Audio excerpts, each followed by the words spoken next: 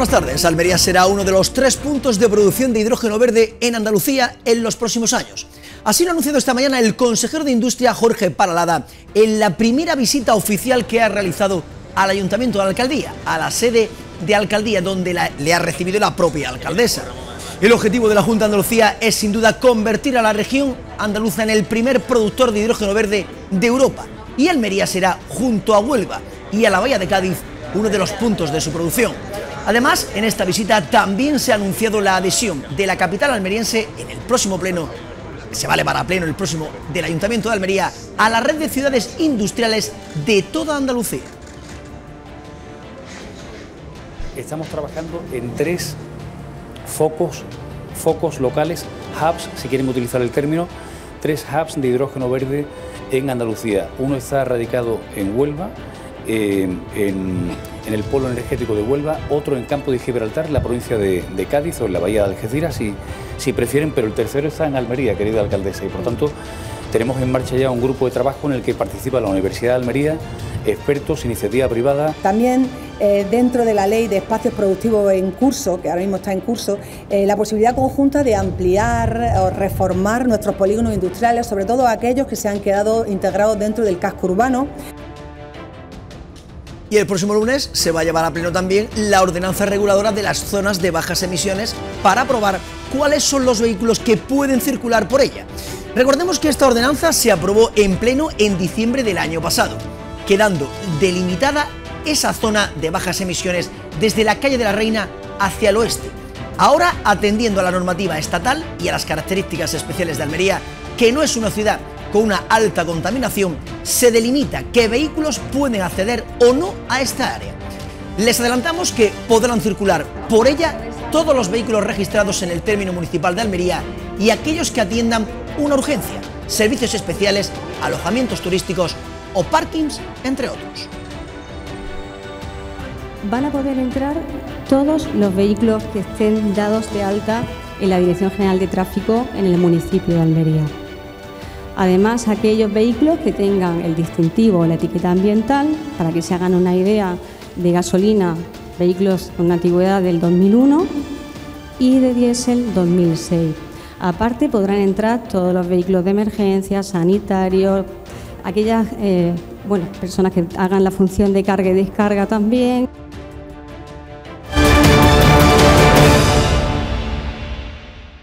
Se lo avanzábamos al principio de nuestro informativo. Almería será uno de esos tres puntos de producción de hidrógeno verde de toda Andalucía en los próximos años. Así lo ha anunciado esta mañana el consejero de Industria, Jorge Paralada, en su primera visita oficial al Ayuntamiento de Almería. El objetivo de la Junta de Andalucía es sin duda convertir a la región en el primer productor de hidrógeno verde de Europa. Y Almería, como no, será, junto a Huelva y la Bahía de Cádiz, uno de esos puntos de producción. Además, en esta visita, el consejero también ha anunciado la adhesión de la capital almeriense y se llevará a pleno en el, próximo pleno del Ayuntamiento de Almería de la red, entrar Almería en la red de ciudades industriales de toda Andalucía.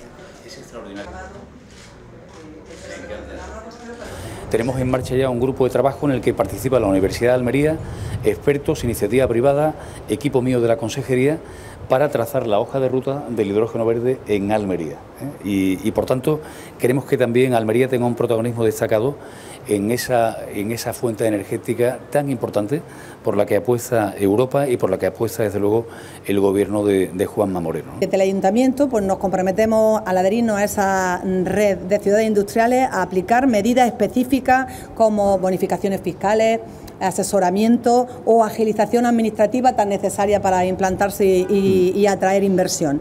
Pero nosotros no nos conformamos. Almería debe crecer industrialmente y, abrir la puerta a otros sectores pujantes que ya despuntan en nuestra ciudad, como la tecnología, los transportes, los suministros industriales, la moda.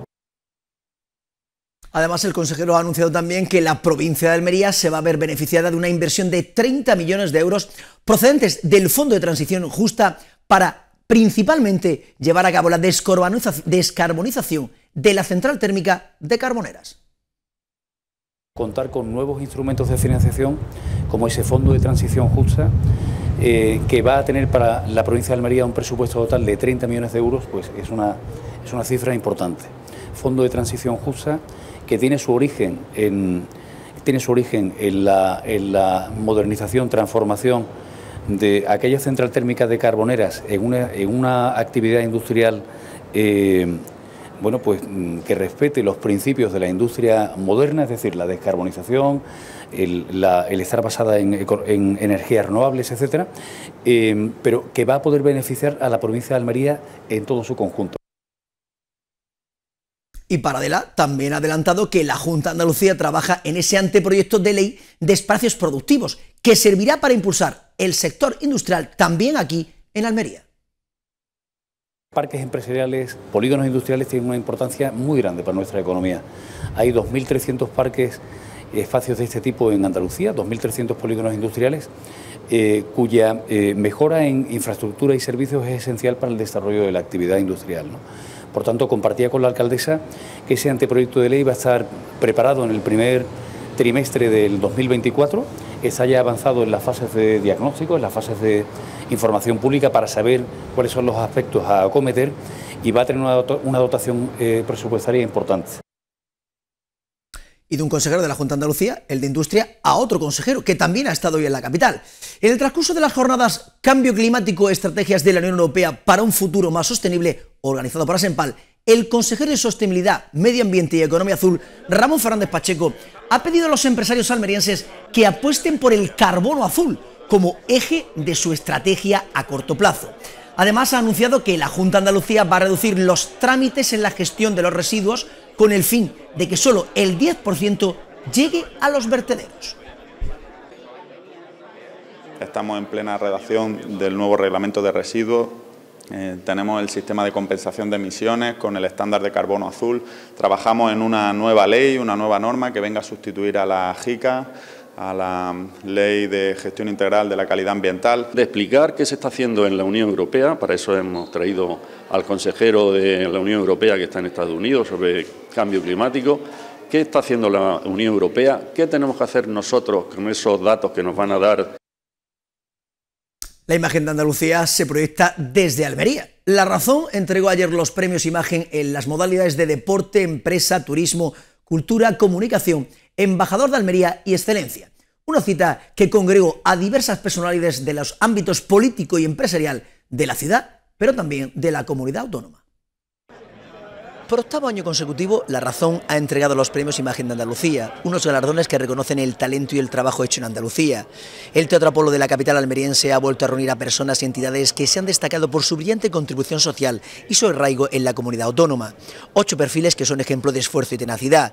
Unos galardones que a lo largo de su trayectoria han reconocido a deportistas, comunicadores, políticos, empresarios, firmas vinculadas a la cultura y artistas que han llevado el nombre de Andalucía por todo el mundo y que han demostrado su valía más allá de los tópicos. Ser imagen de Andalucía, como bien se ha dicho aquí, es un privilegio, pero también es una responsabilidad porque simboliza ese liderazgo y esos impulsos que tenéis todos los que habéis subido aquí para abrir camino, para, para ser referencia, para definir el futuro y, en definitiva, para crecer y para enriquecer Andalucía, nuestra tierra.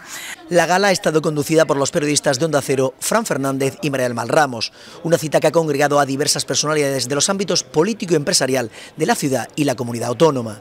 Vosotros sois una parte fundamental de, de la sociedad, reflejáis, mejor dicho, una parte fundamental de la sociedad, soy ejemplo de las muchas personas que hoy podrían haberse subido aquí a recoger un premio porque Almería, Andalucía, me pasa a menudo esto, y me seguirá pasando, ¿qué vamos a hacer? Llevo lo de Almería. Pero bueno, perfectamente aplicable a Almería, es a toda Andalucía, ¿no? Andalucía decía, le sobra talento por los cuatro costados, tenemos gente maravillosa en todas las disciplinas, en todas las disciplinas, y tenemos que seguir premiándolo, reconociéndolo y sintiéndonos muy, muy, muy orgullosos de todo ello. En la modalidad de deporte ha sido distinguido Marcos González de la Peña, un emblema de superación y determinación. La USED ha sido reconocida en el apartado de empresa, fundada en agosto de 2016 en Almería, firma de joyería contemporánea. Macenas Mediterranean Resort ha sido galardonada en la categoría de turismo. Se trata de una empresa que ha desarrollado un nuevo concepto de sostenibilidad turística y residencial. Antonio Soler ha sido premiado en el apartado de cultura, escritor y guionista malagueño. José Yelamo es otro rostro muy conocido de la televisión que ha recibido el premio de la modalidad de la comunicación. Actualmente podemos encontrarlo al frente de la Sexta Explica. Red Madre ha sido distinguida en la modalidad de solidaridad, una entidad dedicada al apoyo, asesoramiento y acompañamiento de mujeres que se enfrentan ante embarazos imprevistos. Pablo Mazuecos ha sido reconocido como embajador de Almería, figura eminente y alma mater del emblemático proyecto Classy Jazz. El cantor onubense Arcángel ha sido premiado en el apartado de excelencia. Su trayectoria en el mundo del flamenco comenzó en el año 87, aunque su reconocimiento llegó en el 98, tras impresionar en la décima Bienal de Flamenco de Sevilla. A lo largo de su carrera ha colaborado con renombrados artistas y bailarines como Eva Yerbabuena, Vicente Amigo y Javier Barón.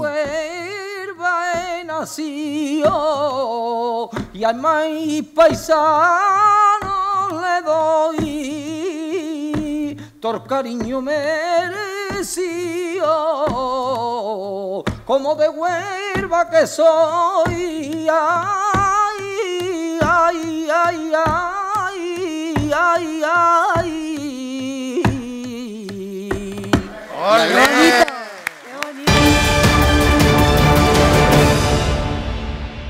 Se lo contábamos en nuestro al inicio de nuestro informativo también. El próximo lunes se va a llevar a pleno la ordenanza reguladora de las zonas de bajas emisiones para aprobar cuáles son los vehículos que pueden circular por ella.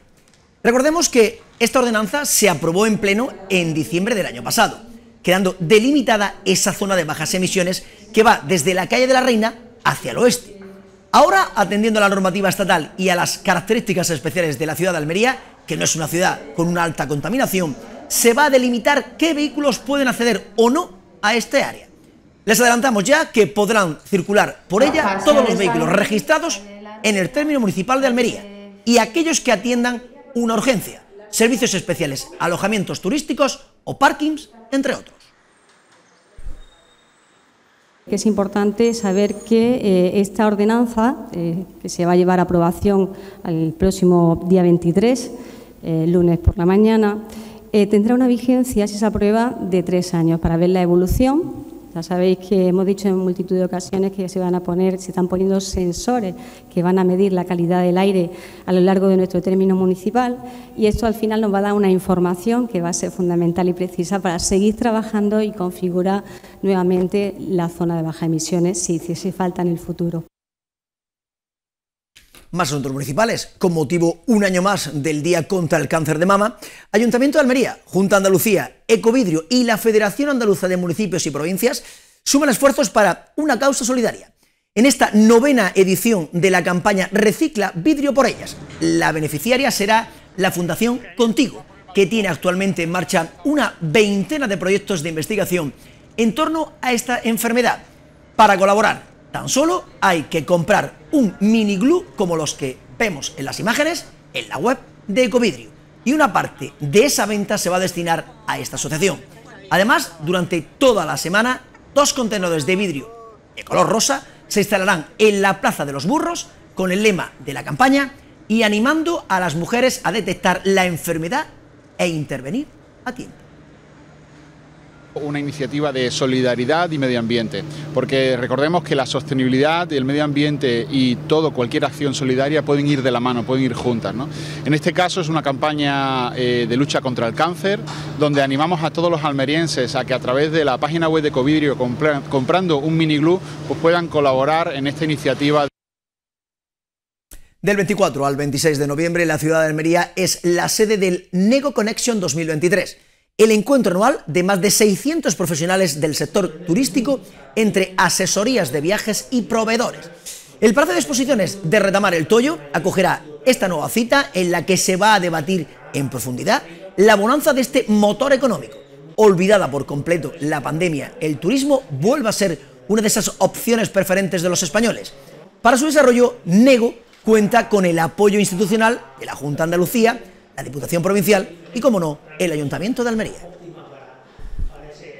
Nego y toda la red de Nego, este año terminaremos por encima del 30% de ventas respecto al último año prepandémico, que fue el, digamos, un año normal, que fue el 2019. Entonces es muy importante para nosotros estar aquí y celebrar esta, esta convención. Que tengamos aquí tantos profesionales que sean capaces de luego vender el destino de Almería como un, un, espacio único, que es lo que siempre tratamos de transmitir desde la, de las instituciones que estamos al frente ahora mismo de, del turismo, pues creo que es muy importante. Concentrarán durante unos días eh, las relaciones profesionales, creando sinergias entre ellos y convirtiendo desde luego Almería en el centro neurálgico del turismo por unos días creando así un hub entre eh, compañías aéreas, oficinas de turismo.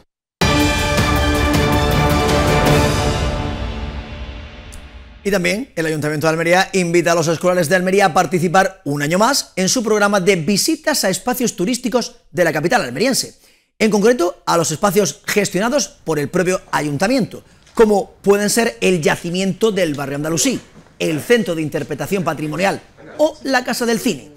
El año pasado pasaron por esta actividad un total de 2.386 alumnos de escuelas de adultos, infantil, primaria y secundaria para descubrir lo mucho que tiene que ofrecer nuestra ciudad y su patrimonio histórico y, como no, monumental.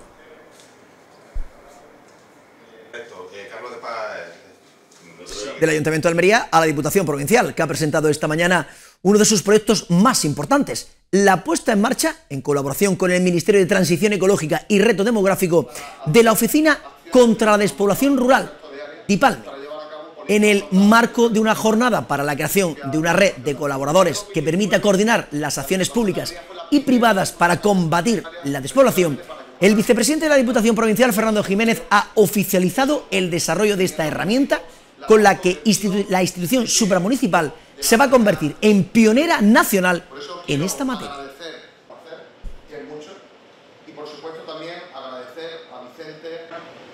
Te queremos presentar todos los proyectos que estamos para la provincia de Almería y por tanto y a seguir trabajando entre todos para eh, luchar contra la despoblación de la forma más decisiva posible. Pues hasta aquí las noticias para todos los que nos siguen a través de nuestra página web www.interalmeriatv.com.